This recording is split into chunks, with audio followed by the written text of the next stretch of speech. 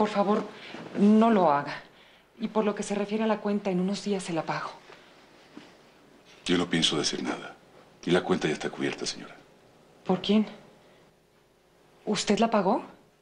Sí. Pero no es justo. Su marido no estaba tan equivocado, señora. Es verdad que yo la estaba mirando.